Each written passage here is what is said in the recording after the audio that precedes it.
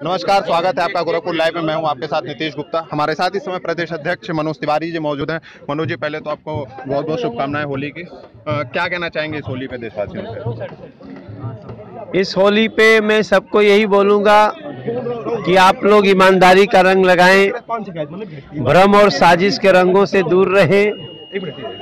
कई लोग नए गंगा यात्री निकले हैं। कई लोग गलत बातों को झूठी बातों को बार बार करने की कोशिश करेंगे। झूठा रंग मिलावटी रंग देने की कोशिश करेंगे।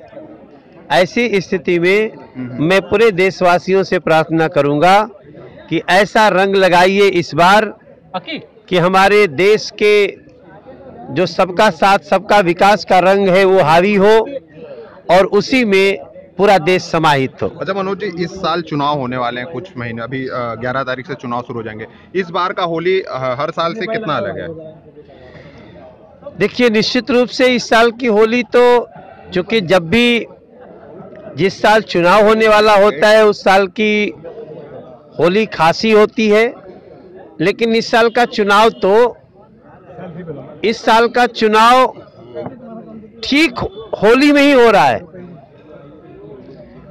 इस समय आचार संहिता लगी हुई है और ऐसी स्थिति में मैंने इसीलिए कहा कि जो रंग हैं वो सच्चे होने चाहिए। झूठों का भ्रष्टाचारियों का जो मिलावटी रंग लाते हैं उनका उनको किनारे हटाया जाए। जो सच्चे रंग वाले हैं ऐसे चौकीदारों को रंग लगाया मनोज जी चाहेंगे गाने के ज़रिए विपक्षियों को जरा होली की शुभकामनाएँ देते जाए मैं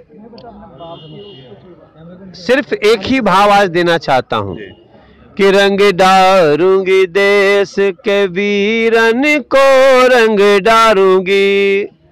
रंग डारूँगी देश की सेना को रंग डारूँगी अभिनंदन को।